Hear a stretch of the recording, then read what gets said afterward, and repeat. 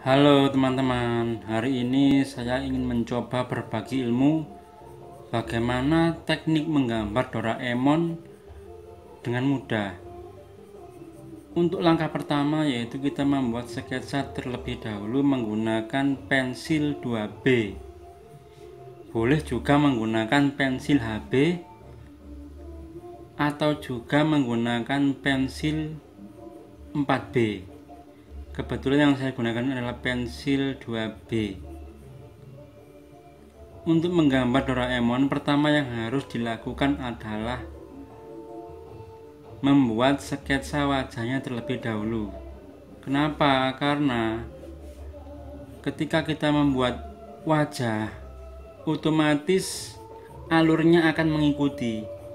Maksudnya alur dari wajah menuju ke kepala dan dilanjutkan membuat badan. Nah, sketsa seperti ini boleh dilakukan pelan-pelan saja dengan teknik sebisa teman-teman. Tidak perlu terburu-buru. Yang terpenting adalah konsentrasi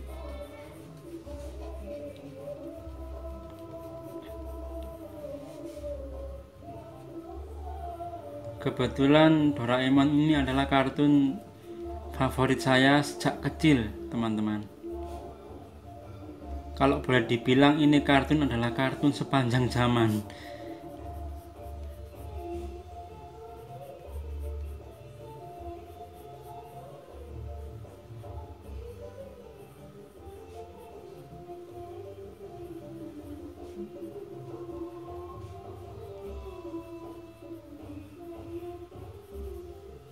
Nah, langkah selanjutnya adalah menebali hasil dari sketsa kita. Saya menggunakan pensil drawing pen 0,2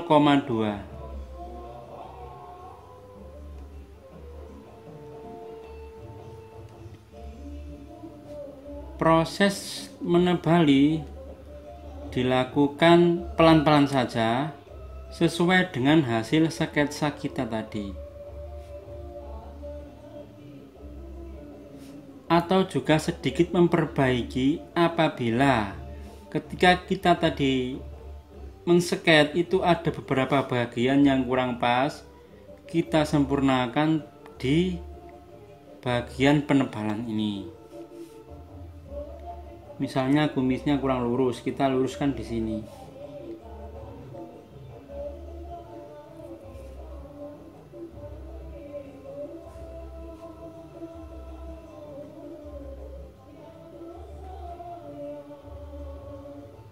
Kenapa sebelum kita menggambar itu harus membuat sketsa dahulu? Karena apabila kita langsung membuat sketsa menggunakan ballpoint drawing pen, maka jika terjadi kesalahan, itu tidak bisa dihapus teman-teman.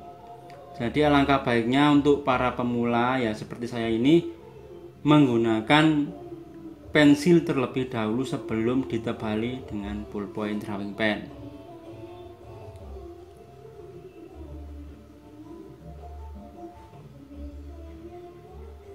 Nah, berikutnya kita hapus bagian pensil sketsanya. Supaya ketika diwarnai tidak mengganggu. Nah, setelah bersih baru kita mulai mewarnai. Untuk mewarnai saya menggunakan pensil warna Kenapa kok saya menggunakan pensil warna kok bukan krayon kak? Karena pensil warna adalah jenis pewarna yang paling mudah.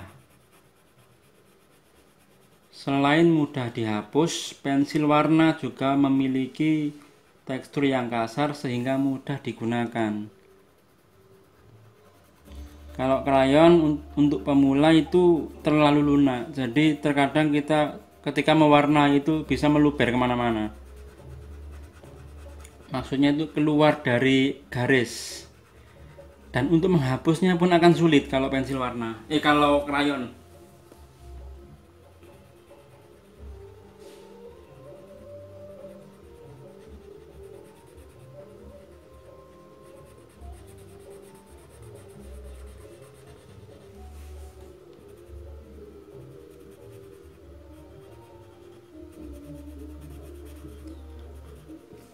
teknik arsiran bebas yang terpenting adalah tidak ada bagian-bagian yang terlewat. Harus penuh jadi boleh menggunakan teknik dusel teknik teknik apa namanya itu? Arsiran satu arah dua arah. Nah paling tidak seperti ini. Sudah cukup berikutnya kita mewarnai bagian mulut.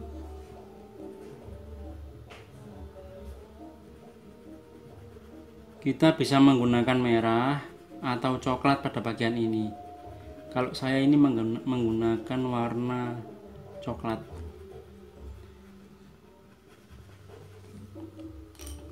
Selanjutnya bagian lidah saya menggunakan orange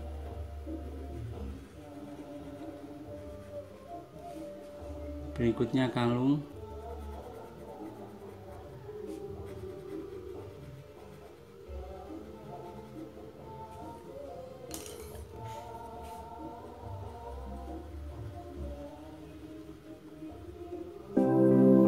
dan yang terakhir adalah bagian hidung